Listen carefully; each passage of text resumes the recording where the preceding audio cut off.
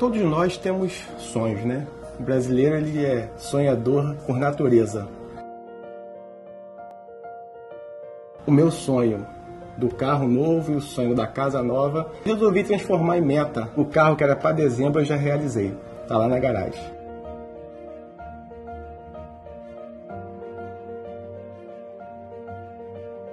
Meu nome é Gileade, eu tenho 37 anos, sou guarda municipal da cidade do Rio de Janeiro. Sou casado com Eva Milena e tenho dois filhos maravilhosos. Eu entrei para a família GAS em julho de 2020, que foi o período da pandemia, né? O auge assim, né? e muito satisfeito. Até hoje nenhum pagamento atrasado, pelo contrário, eles estão sempre pagando adiantado. E isso mudou a minha vida financeira e da minha família.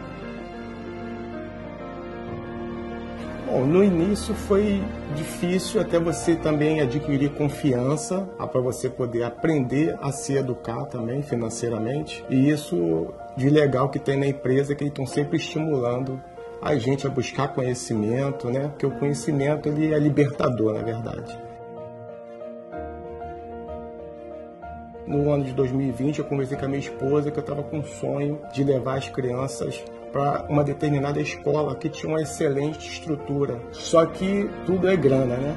Falta grana. Então, com o investimento da GAS, está me proporcionando a pagar o colégio. Isso está sendo muito legal também.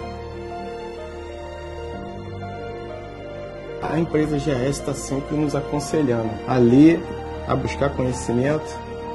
Agora falta casa. Tamo junto, GAS.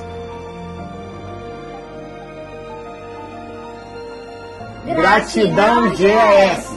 Juntos somos mais fortes.